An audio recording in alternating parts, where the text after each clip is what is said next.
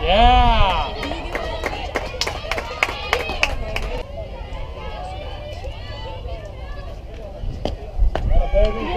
Pitch. Way to go. Junior's okay with you not holding. Nice pitch.